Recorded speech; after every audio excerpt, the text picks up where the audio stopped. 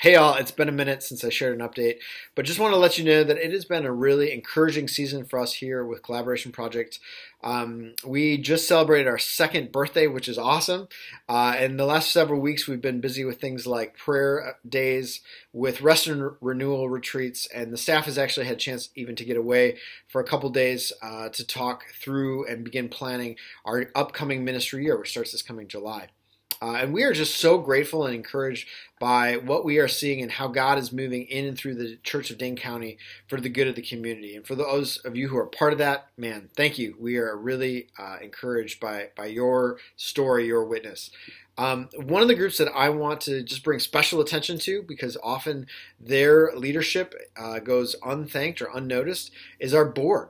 Our board is this amazing group of leaders within our own community who are using their gifts and talents and resources to help us as an organization uh, keep our eyes on what is our mission and our vision, and, and that we continue to do the work of fostering collaboration between churches for the good of the community. This group of amazing people meets nearly monthly um, to help us do that. And uh, several months ago, they were talking about how could we end our year well and how could they uh, be an encouragement to the work that's happening.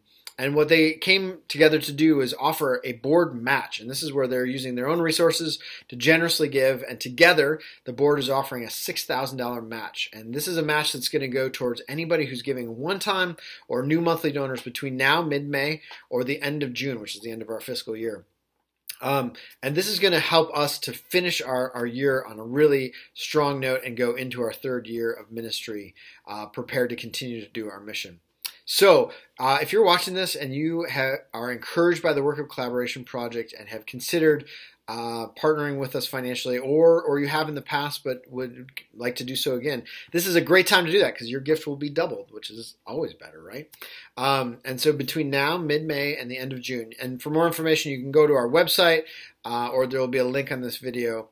And I just want to say thank you again to our board for being such an encouragement, for helping us stay on mission and vision and to all of you who are part of the Dane County Church. Uh, as you continue to foster collaboration, continue to work together uh, to the glory of God and the good of all people. So have a great day, and hopefully we'll see you soon. Bye now.